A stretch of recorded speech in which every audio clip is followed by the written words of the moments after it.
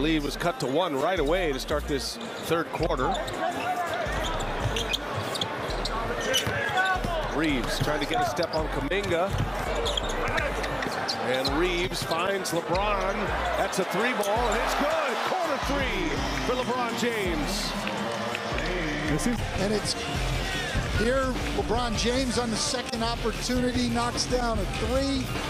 Lakers by 16.